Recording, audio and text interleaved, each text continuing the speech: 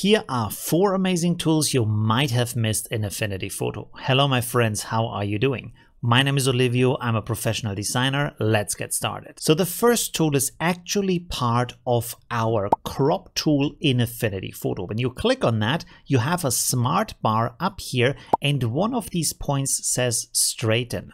When you click on this, you get a horizon straightening tool. The way to use this is find a horizon line in your image and then click on the starting point, hold your left mouse key and go to the other side to draw a straight line over the horizon. When you let go, it is automatically rotated so that your horizon is straight. After that, you simply have to drag in the sides because you can see now we have a background that is transparent so that you crop away the elements that are not covered by your canvas. And after you do this, you can see we have a completely straight horizon. Also, don't forget about my weekly challenge and the live stream on Sunday. Here is the next trick. You have a drawing and you want to remove the white background. And there's actually a tool for that in Affinity Photo. You go to Filters, Colors, and here it says Erase White Paper. When you click on that, automatically the background is removed for you. And if you don't see this checkerboard, go to Document and make a hook next to Transparent Background. Also keep in mind that PNGs have a transparent background, not JPEGs. Here is the next amazing tool. You can actually see the EXIF data you can also write copyright data, give a rating, and more information inside of Affinity Photo. The way you do this is to go to View, Studio, Metadata, and this will open up a separate window or it will appear in one of these tabs over here on the side. And here you can see we have a pop down menu with different categories inside.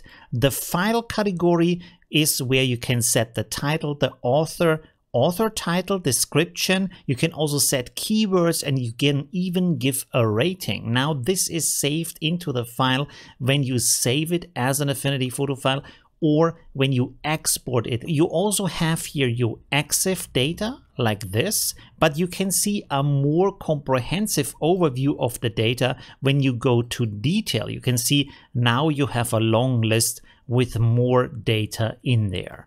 Also, what you can do is when you go to rights, you can set up different kind of copyrights, even public domain, and you can choose from different Creative Commons licenses that again, you can save in the file when you are exporting it as a JPEG or saving it as an Affinity photo file. By the way, if you're editing a RAW file and you're in the developer persona, you have the same thing over here where it says metadata, even with the pop down menu. So you have all of the same options. Again, this is not saved in the raw file. You have to export this in one of the file formats or save it as an Affinity photo file. Now here's our last tool and this is pretty amazing if you know what to do with that. You can see here we have water on the left side with a very nice color and then water on the right side. And we want to have that in the same amazing blue. So how do we do this? Well here is the tool. You go up to view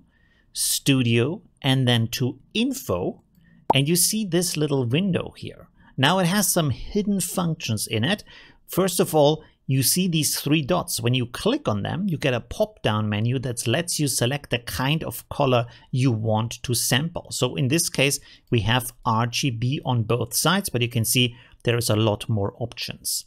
Now, both of them are set to mouse pointer, so they are reading wherever my mouse pointer is looking, but I want to have colors sampled even if I move my mouse away. This is where we have these little sniper dots here that we can point onto our canvas. So how do we match these in color? Well, it's actually pretty easy. I want to right click and duplicate both of these layers and then I will select the duplicate, go to filter, blur, average. This will average out all of the colors that are found in that image. Let's do this on both sides. This is a full water image. There's no other colors in there. This is why we can do it so easily. Now I will click and drag the left sample point to our left side and the right sample point to our right side. So now that I've done this, you can see that the green color layers are on the lower part of my layer tab here. This is important because I don't want to change the colors on my left side, only on the right side. This means I'm going to create a curve adjustment in between all of these layers because the curve is applied to everything below it, not above it. So now that we have done this, we are going to choose the color picker and we are going to go to the different channels. Let's start with red here. And you can see we have a value of 14. So with the picker selected, I'm clicking in my image and I move my mouse upwards until I have 14. You can see super easy. Let's go to the green channel. You can see here we have green 127. We click again, move it upwards until we reach 127. Let's go a little bit lower. There we go. Perfect. Let's go to the blue channel. Again, click, drag it upwards there we go. You can see both sides look exactly the same. And when I turn off my layers, you can see that on both sides now we have the same beautiful blue values. That's it for today. Thank you for watching. Leave a like if you enjoyed it. And of course, thank you for all my Patreon supporters who make these videos possible. Bye.